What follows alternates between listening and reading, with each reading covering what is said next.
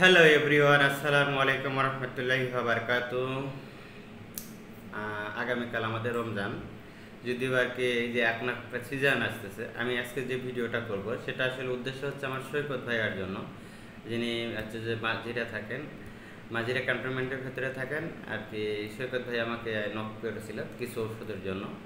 ওনার আর কি পাখির ফার্ম আছে আর কি। বাজরিকা কোকাটেল তারপরে হচ্ছে ফ্রেঞ্চ এই পাখিগুলো উনি পালন করেন লেখাপড়ার পাশাপাশি। সে রাজশাহী ইউনিভার্সিটিতে লেখাপড়া করে ভাইয়ের সঙ্গে চ্যাট হয়েছে, কথা হয়নি। তো উদ্দেশ্য হচ্ছে ভাইকে নিয়ে আর কি আর কি কথা বলা। উনি বলছিল যে একটা যেন ভিডিও দেন।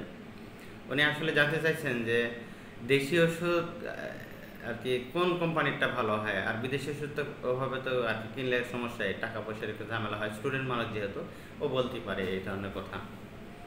যাই হোক ভাই সৈকত ভাই, আমি আপনার উদ্দেশ্যে আর কি ভিডিওটা করা।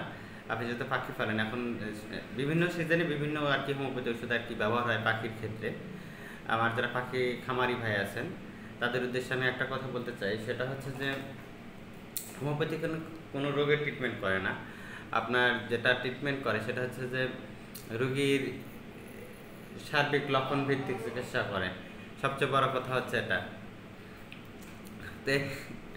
আমি আপনাদের যেটা বলি, যে পাখির বিশেষ যে রোগটা আমি আমি কিছু পাখি আমাকে কেউ গিফট করছে, আর কিছু পাখি আমি কিনছি। যে বাজারে কি আছে, আর কি কি যেন পাখি, আমি অত নাম জানি না, বাসায় বাচ্চারা পালে সেই দৃষ্টিকোণে তাদের পর আমি যে এক্সপেরিমেন্টে আর কি, যে রোগগুলো হয়, ঠান্ডা রোগটা বেশি হয়। আমি ঠান্ডা রোগে বেশিরভাগ মেডিসিন ইউজ করেছি হচ্ছে যে আপনার একোনাইট ন্যাপটা বেশি ইউজ করছি। আর যখন পায়খানার যখন প্রবলেমটা আসছে, তখন আমি ইফিক্যাক নাক্স আপনার হচ্ছে যে আপনার কি বলে হাইডাক্স স্ক্যান তারপরে হচ্ছে মাক্সল মাককর এই এইগুলো আমি সিনা এইগুলো ইউজ করছি।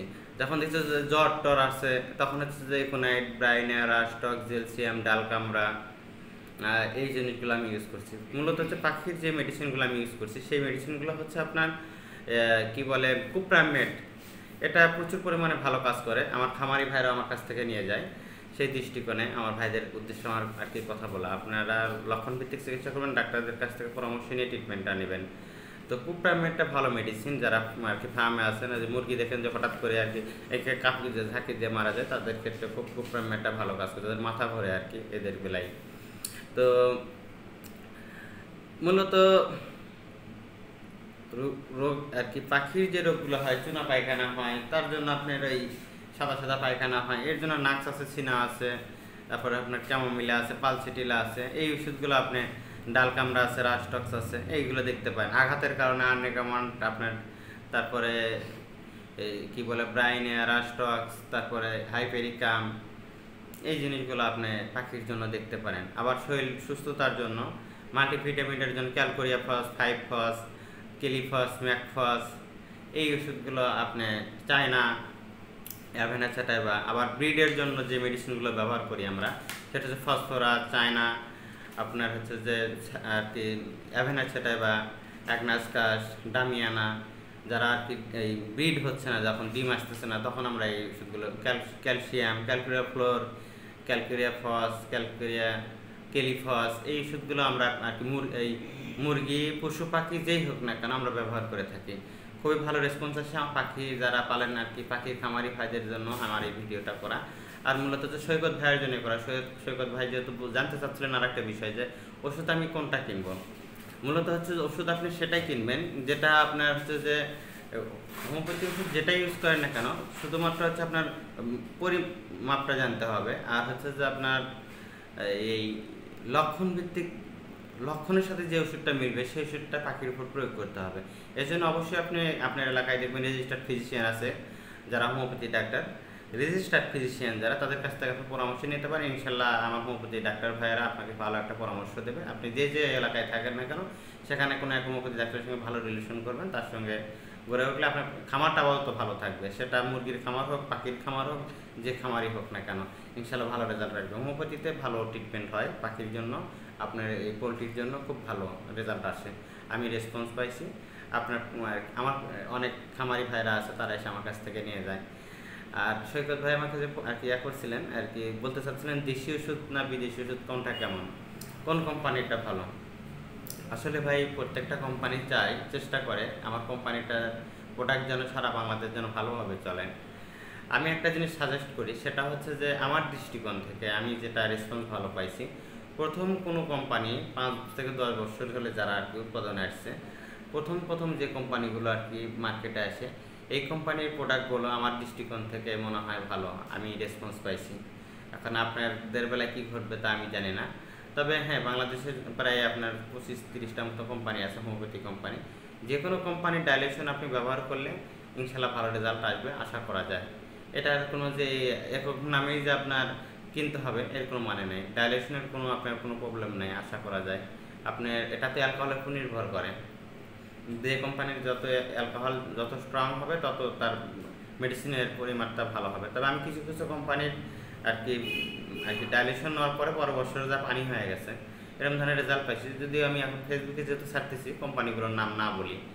আর আপনারা যে কোনো কোম্পানিরই কিনতে পারেন। আপনারা তো অল্প করে কিনবেন ড্রাম কিনবেন। মানে পাখি তো আপনার যদি পাঁচশো পাখি হয়, দেখা যাবে যে আপনার এক ফোঁটাতেই কাজ হয়ে যাবে। কারণ একটা মানব দেহে এক ফোঁটা ওষুধ, একটা আপনার শিশির ভিতরে গ্লোবিসের উপর তোলার পরে, তারপর হচ্ছে যে ওখান থেকে একটা দানা পানির ভেতরে ওখান থেকে, হচ্ছে যে দশটা ছাঁকি দেওয়ার পর ওখান থেকে এক চামচ নিয়ে খেতে হয় আর পানিগুলো ফেলে দিতে হয়।